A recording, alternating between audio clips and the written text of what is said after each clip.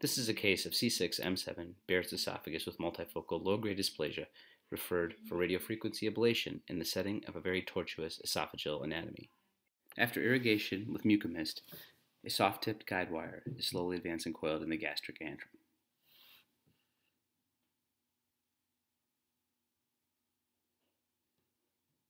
The endoscope is exchanged and the Halo 360 Express catheter advanced over the wire into the esophagus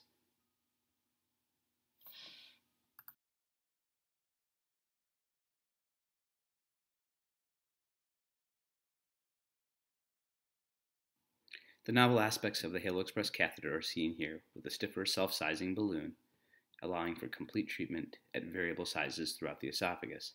The longer 4 cm ablation electrode is also visualized. As 360 ablation is performed with the Halo Express catheter, proper visualization into the balloon is essential for complete therapy.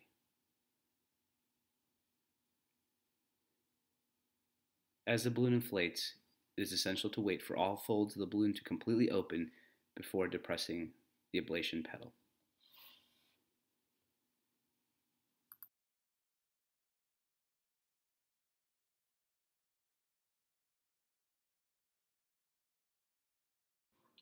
This case highlights the use of the Halo 360 express ablation catheter in a long segment Barrett's esophagus with tortuous anatomy.